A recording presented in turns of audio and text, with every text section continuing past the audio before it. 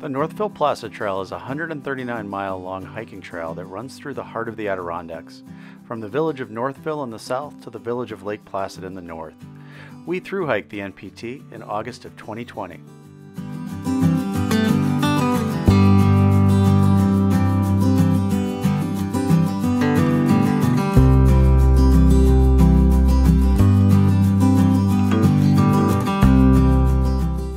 Day 7, we slack packed between Route 28 and Long Lake, a distance of 15 and a half miles. At about three and a half miles in from Route 28, the trail passes by the O'Neill Flow Lean-To at the south end of Tirrell Pond. From there, you're hiking along the very scenic shoreline for a little over a mile until you reach the Tirrell Pond Lean-To at the pond's northern end. There's also a great beach here for those who want to take a swim.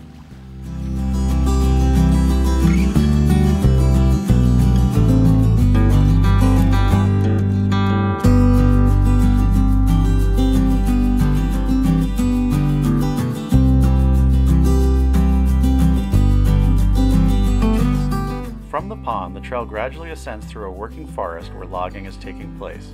The trail also joins an active woods road for a brief time before turning off that road and heading towards the high point of the NPT. Once you're back in the woods, the trail slowly ascends up a valley to a beautiful open area that gives you a view of the ridge and the saddle that you'll be climbing over on the trail. From there, the trail begins to climb more steeply until reaching the height of land at just over 3,000 feet. Sadly, there's no real view from this point.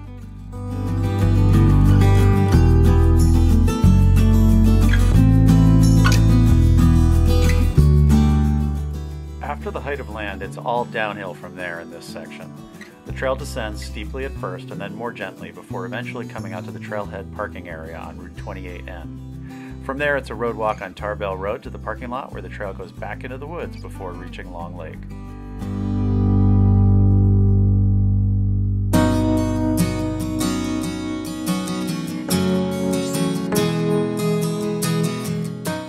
After getting our car at Tarbell Road, we shuttled cars and dropped one off at the northern end of the NPT in Lake Placid. It felt good to be running our last shuttle and seeing the end of the trail. It was back to the hotel after that for some fine dining, COVID style.